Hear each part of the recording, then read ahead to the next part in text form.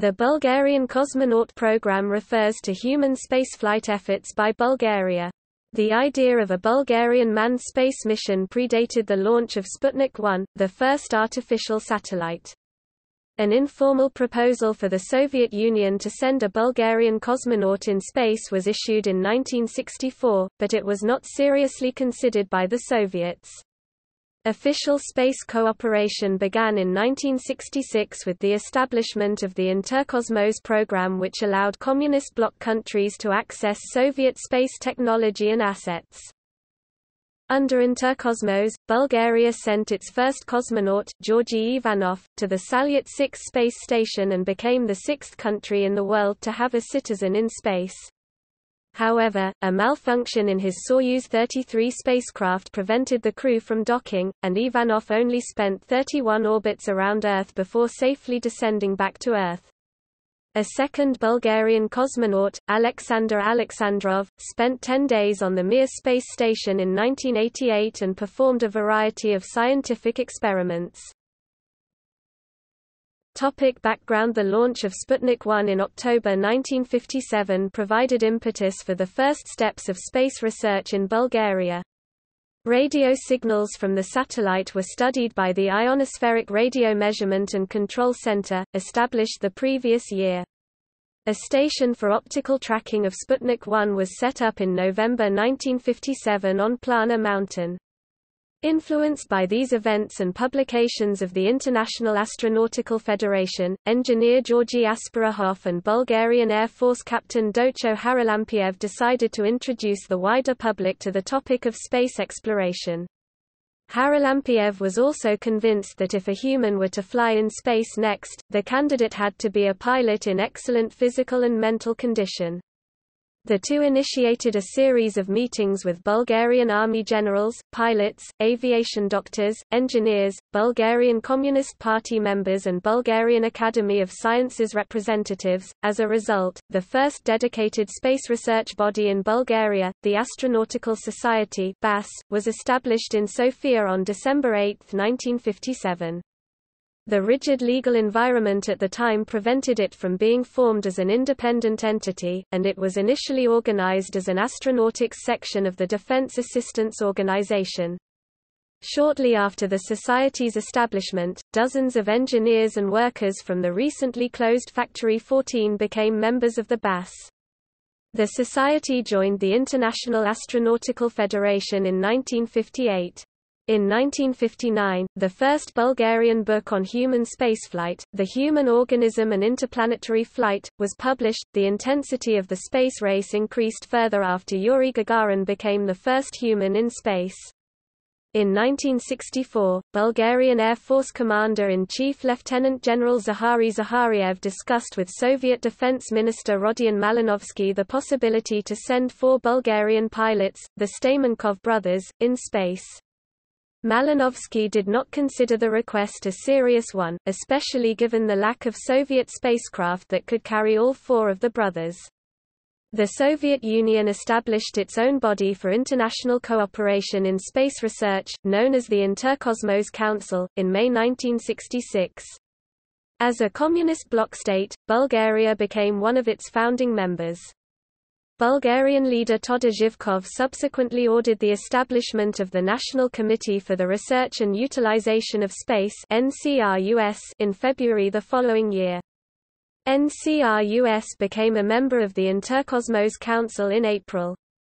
By the end of 1967 the committee adopted a program of activities that included the development of joint Soviet-Bulgarian satellite instruments and studies on human physiology and microgravity.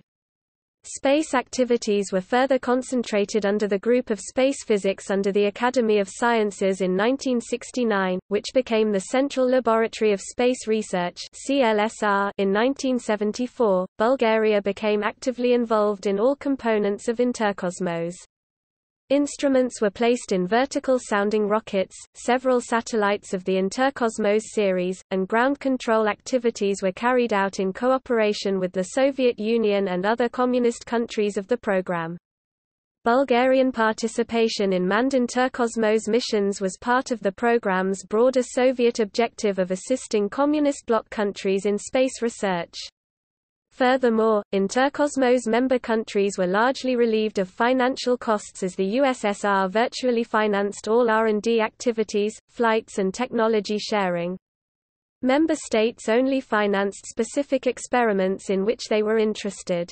When the decision to extend Interkosmos cooperation to human spaceflight was taken in 1976, selection of candidates was made easier by nearly a decade of cooperation before that.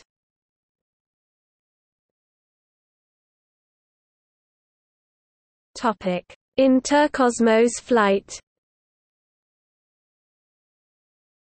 Selection for the second Interkosmos cosmonaut class in Bulgaria was carried out in 1976–1977. Bulgarian pilots who graduated at the Dolna Mitropolia Air Force Academy between 1964 and 1972 were eligible for selection. Almost all of these graduates applied and were sent for medical examination by an aviation medicine commission. Candidates who passed the first round of tests were then sent to the Senior Military Medical Institute in Sofia and subjected to several weeks of examinations in isolated conditions. Only four candidates made it through the second round, Georgy Ivanov Kakalov, Alexander Alexandrov, Georgy Yovchev and Ivan Nikov.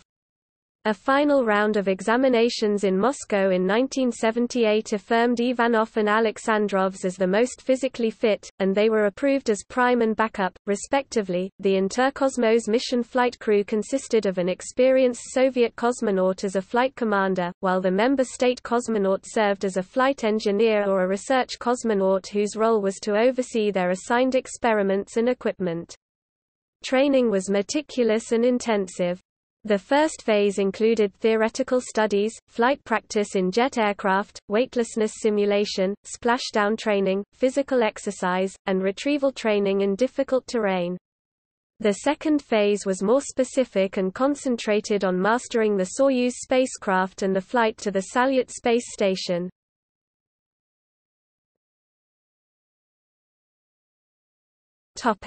Experiments In general, Interkosmos flights focused on five main areas of research, space physics, space meteorology, communications, space biology and medicine, and studies of the natural environment. Ivanov's mission was focused primarily on space physics, communications and environmental studies. In December 1978, SPEKTAR-15, a Bulgarian-made spectrometric system, was installed on the Salyut 6 training mock-up at Yuri Gagarin Cosmonaut Training Center. It was subsequently approved for space use. Elements of the SPEKTAR-15 were delivered to Salyut 6 on 14 March 1979 with the Progress 5 flight, these included the data storage block, the eyepiece, lens and filters.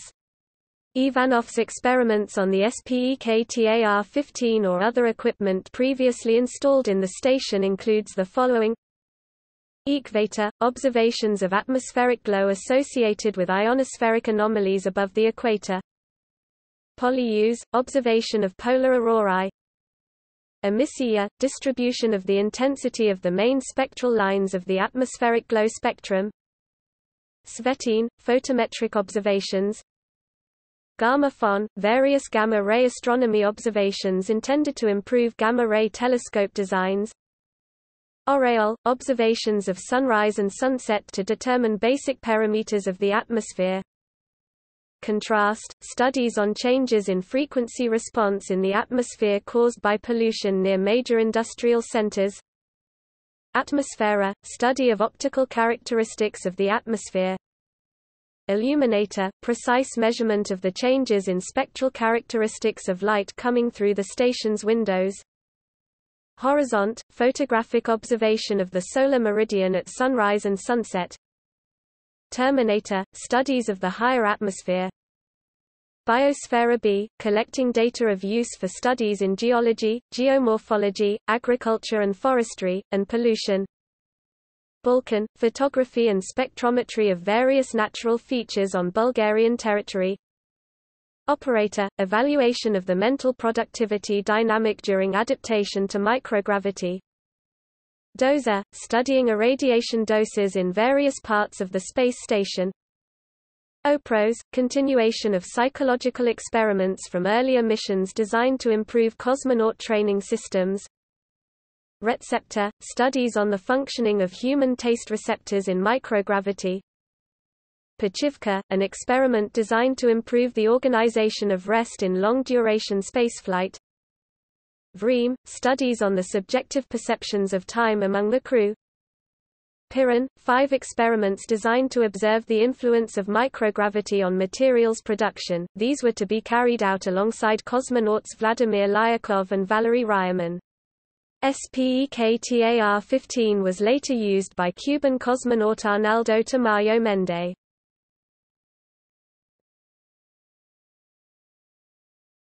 Topic: Flight Soyuz 33 was launched from the Baikonur Cosmodrome with Ivanov and Flight Commander Nikolai Rukavishnikov on 10 April 1979. The crew call sign was Saturn.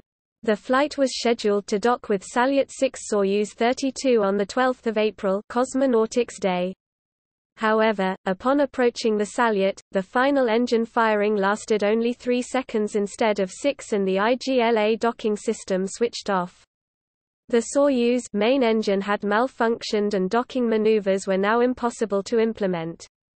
Salyut crew member Lyakov also observed a sideways jet toward the auxiliary engine during the failed main engine firing. The Soyuz 33 had limited life support resources and the crew had to return to Earth immediately.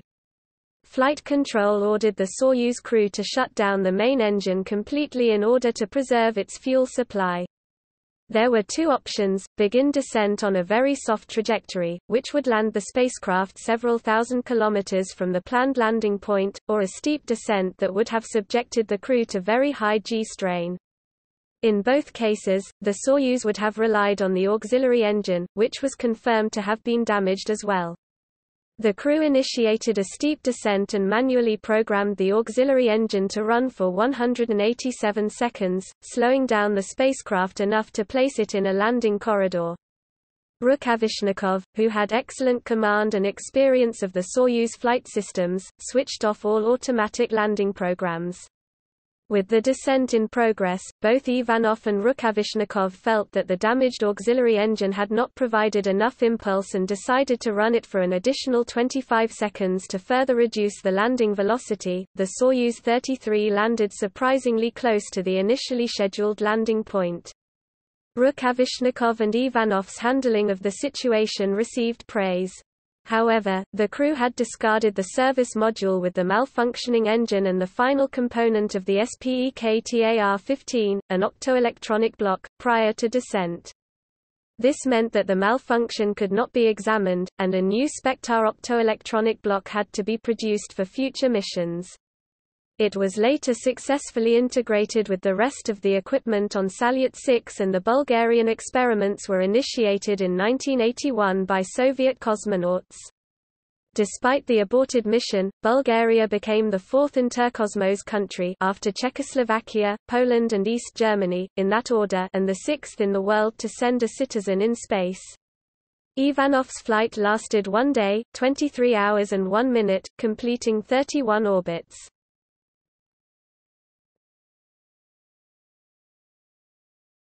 Topic: Shipka program. The Mir Space Station core module was launched in February 1986 and the SPEKTAR-256 system, a follow-up to the SPEKTAR-15, was to be fitted on the station. During an official visit to the Soviet Union in 1986, Bulgarian Defense Minister Dobry Dzhurov arranged for a Bulgarian cosmonaut to be sent to the station with Soviet assistance. Additional talks with Glavkosmos were subsequently initiated by CLSR Director Professor Boris Bonev, and an official agreement for a joint Soviet-Bulgarian mission was signed on the 22nd of August 1986. Although similar in arrangement to the previous Interkosmos flight, this mission was a bilateral scientific agreement independent of the Interkosmos program. Bulgaria agreed to pay for the mission by designing and manufacturing the equipment for it, and then providing it to the Soviet Union. Candidate selection began in November 1986 and involved more than 300 Bulgarian Air Force pilots. The flight was scheduled for the summer of 1988, and applicants with command of Russian and computer skills were given preference to speed up the selection process. Ten were selected for the final round of medical examinations by Soviet physicians in Sofia. The final four were Krasimir Stoyanov, Nikolai Raikov, Alexander Alexandrov and his brother Plamen. The first three were certified for the mission. Alexandrov and Stoyanov were selected to be the mission crew as prime and backup. The two were sent for flight training at the Yuri Gagarin Cosmonaut Training Center on 10 January 1987.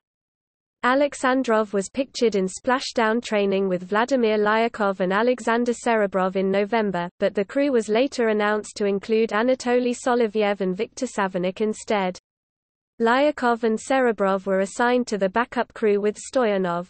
The flight and its scientific program were named Shipka, after Shipka Pass where a crucial battle between Ottoman troops and a Bulgarian-Russian force occurred during the Liberation War of Bulgaria in 1877.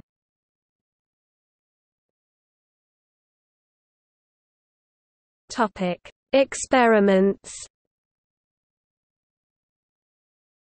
The research schedule of the Shipka program encompassed five areas of study, space physics, Earth observation, space biology and medicine, materials science and space equipment. Bulgarian factories produced nine devices, each in five specimens. Rozhen Astronomy Complex was a computerized system consisting of a CCD camera and a data processing unit. The camera matrix had several cooling regimes each suited for a different type of observations. The data processing unit was a computer for real-time image processing. Depending on the type of astrophysical observation, it could switch between different mathematical filters to yield the maximum amount of data possible from the observed objects or phenomena in deep space. Rozhen was seen as the first step in a 15-year program to design and build an integrated space station telescope for observations in the visible, ultraviolet and X-ray spectra. Parallax Zagorka, an image intensifier for near-Earth physics research designed to observe specific wavelengths 427.8 nanometers, dinitrogen 557.7, 630 nanometers. Its purpose was to help study the vertical distribution of atmospheric glow and the energy of charged particles. Parallax Zagorka was used in combination with the Rozhen astronomy complex. TERMA was a high temporal and spatial resolution impulse photometer for observations of the rapidly changing optical signatures of polar aurorae, polar stratospheric clouds and lightning. TERMA consisted of an optical receiver equipped with interference filters, a digital electronic unit and a control node. It was attached to a window and information received and processed by it was then transferred to the Zora computer at a rate of 20 kilobytes per second. When coupled with Zora, Terma was mostly used to collect data on turbulence and other processes in the higher atmosphere. In combination with Parallax Zagorka, it was used to study polar aurorae. SPEKTAR 256 built upon heritage from the SPEKTAR 15 used on the Salyut 6, Spektar 15M on the Salyut 7 and SMP 32 on the Meteor Priroda satellite, all designed and built under academician Dimitar Mishev. It was a 256-channel system used to observe the reflectance of various natural and man-made objects on the Earth's surface. Like Terma, SPEKTAR 256 was attached to one of the windows of the station and consisted of an optoelectronic block and a data processing unit. Analog information was processed into 8-bit code and then transferred to a magnetic disk. Liulin was a dosimetry instrument used to monitor radiation flux and intensity in the 100 keV to 50 MeV range on the station. This was the first iteration of the Liulin type of dosimeters. DOSA B was a dosimetry set of passive detectors made of biomaterials. Used to monitor radiation on the station. Sun 3 was used to monitor circadian rhythms and sleep patterns in space conditions. It could record up to 12 hours of sleep pattern data on magnetic tape. Pleven 87 was an integrated set of medical instruments consisting of a microprocessor system, a stimulation unit and a control panel. Pleven 87 was used to perform 15 different studies on sensory and motor functions, attention dynamics during various physical or mental tasks, equanimity and operational reliability of cosmonauts. The set was entirely automated and provided visualization of all data. Zora was a mission computer used to both process data from other equipment and perform additional experiments on the basis of the results. It used a principal 16-bit system and a secondary 8-bit unit to interface with the other devices, a keyboard and a plasma display. All Bulgarian-made devices were installed on the Mir a week ahead of Alexandrov's flight. The equipment functioned better than expected during testing. Alexandrov later stated that computerization of the experiments significantly increased efficiency as real-time results were generated and experiments could be performed repeatedly to verify the data. Overall, Alexandrov was to perform dozens of research activities related to the interstellar medium, the galactic center of the Milky Way and nearby galaxies, orientation using stars as a reference, synthesis of materials in microgravity, crystallization, muscular, vestibular and ocular functioning, among others. Alexandrov also continued work on experiments scheduled for Georgy Ivanov's flight such as KONTRAST-2 and ILYUMINATOR-2 and examined the properties of Bulgarian-made space food.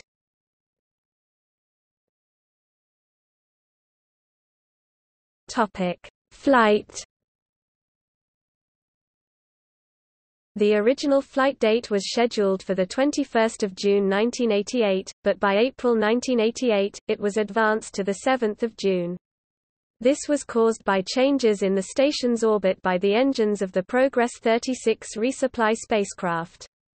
The earlier launch date would have also provided better lighting conditions for the Rozhen experiment, another factor in pulling back the launch date. The call sign of the crew was Rodnik. Flight control was provided by TSUP as well as a newly established situational center in Stara Zagora, Bulgaria. Unlike previous launches when the event was recorded and only broadcast if successful, Alexandrov's launch was broadcast live on Soviet television. Liftoff took place on 7 June in 1803 Moscow time on Soyuz trademark 5, with Solovyev as flight commander, Savinykh as flight engineer and Alexandrov as research cosmonaut. At the time, the Mir was staffed by Musa Manarov and Vladimir Titov, who had been there since 21 December 1987. In 18 hours 2 minutes and 22 seconds on 9 June, the trademark 5 began approach maneuvers on its 33rd orbit. In 1940, the trademark 5 had already established radio contact and TV transmissions, and was 400 meters from the Mir. Nine minutes later, live television broadcast of the approach was initiated. The trademark 5 docked with the Mir in 1955 and began pressure equalization in 2012. All hatches were open in 2125 and the Soyuz crew transferred to the Mir in 2127. Alexandrov performed more than 56 experiments during his nine-day stay on the station. During the Sun-K experiment, he confirmed the normal flow of all three phases of non-rapid eye movement sleep. Alexandrov also participated in a teleconference with state leader Todor Zhivkov which was aired live on Bulgarian national television. On the morning of 17 June, Solovyev, Savinykh and Alexandrov began procedures to return to Earth with the Soyuz trademark 4 flight. It detached from the Mir in 1018 and initiated departure. Re-entry engine firing occurred in 13 hours 22 minutes and 37 seconds and the descent module entered the atmosphere in 1350.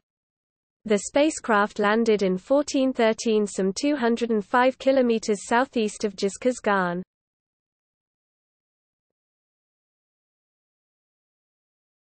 Topic: Current status Following Alexandrov's flight, Bulgaria continued to design, produce and send equipment to the Mir space station.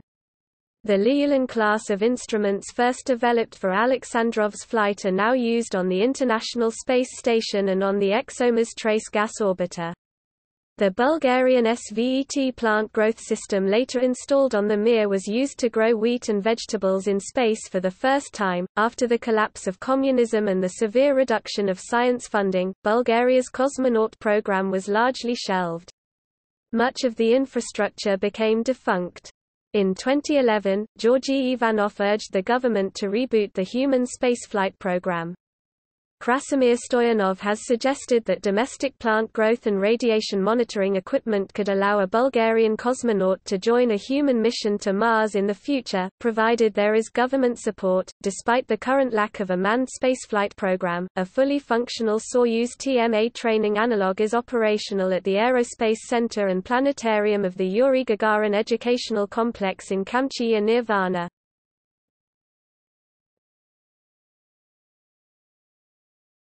Topic. Overview.